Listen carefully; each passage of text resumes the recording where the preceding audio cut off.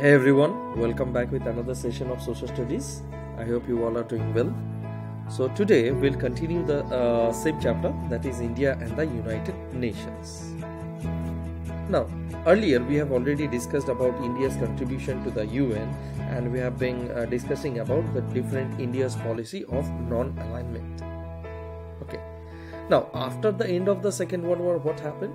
Two superpowers emerged in the whole world now they were the USA and the USSR.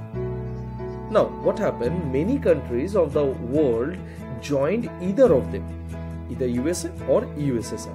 And thus the world was divided into two rival groups. Now it also led to the formation of different military pacts.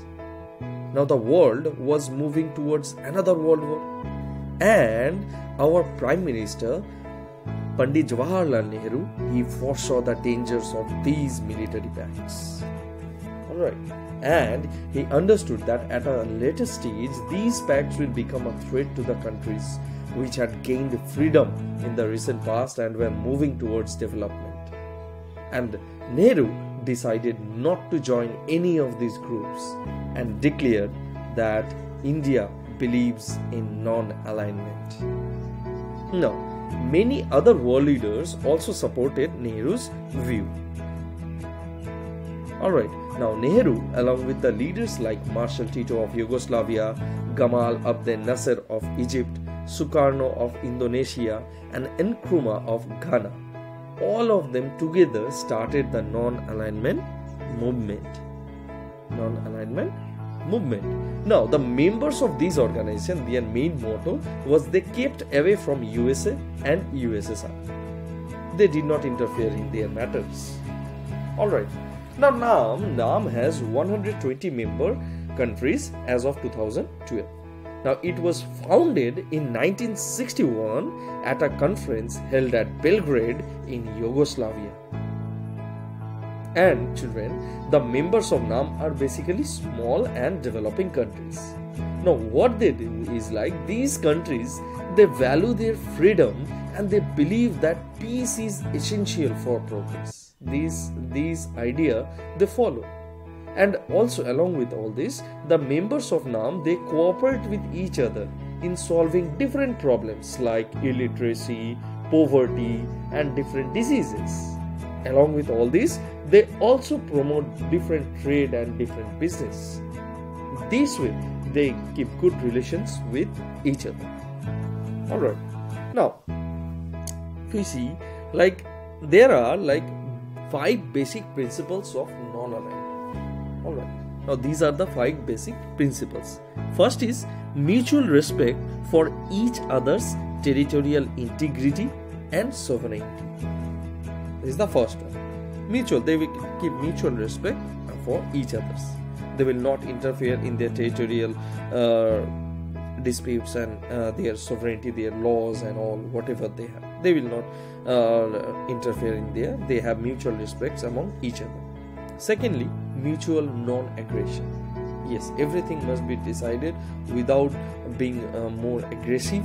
All right. By uh, settling disputes by sitting discussions meetings and all this. Okay. Mutual non-interference in domestic affairs. No country shall uh, interfere in anyone's like uh, domestic affairs. This was another uh, like uh, principle. Next equality and mutual benefit. As i said they promoted trade and they made business. They did business among each other. So there must be equality and, and mutual and mutual equality and mutual benefit among each other. Whatever the profit, it will be shared among each other equally. Along with all this, the main basic idea that was peaceful coexistence. Now they will be in the on their own. They will not like um, they will keep away from USA and USSR.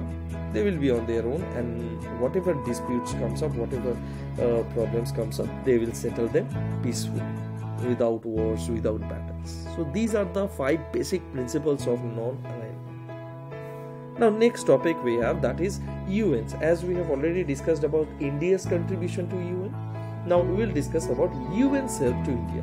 How UN has helped India in different ways and others. Now, India has also received much help from the UN through its different agencies like WHO, World Bank, WHO that is World Health Organization, World Bank, FAO that is Food and Agricultural Organization, UNICEF, United Nations Children's Fund, UNESCO, alright, and many other different agencies that we have, such as ILO that is the International Labour Organization, alright. So, from all these agencies, India received much help. Now, uh, for examples, if you see, like WHO, WHO has helped India to fight against diseases and epidemics. And FAO, if you see, has helped India in improving farming methods.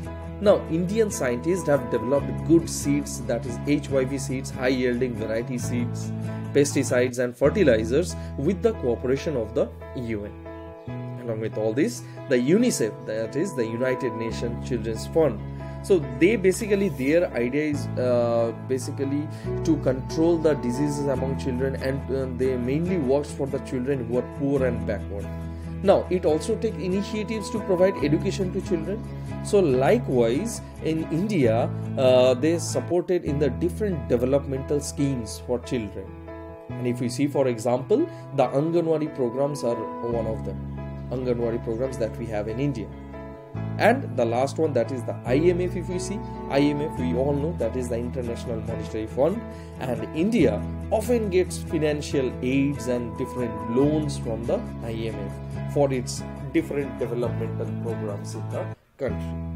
So this way UN and India they keep good relations among each other and they help each other in times of in uh, whenever they require times of need whenever they require they help each other. So that's all we have in this session. I hope you have liked it. I hope it helped you a lot. So until the next time with another chapter. Bye bye